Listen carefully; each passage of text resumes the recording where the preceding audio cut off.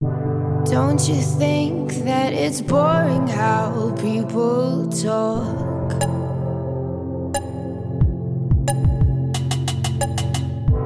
Making smart with their words again. Well, I'm bored. Because I'm doing this for the thrill of it, killing it. Never not chasing a million things I want.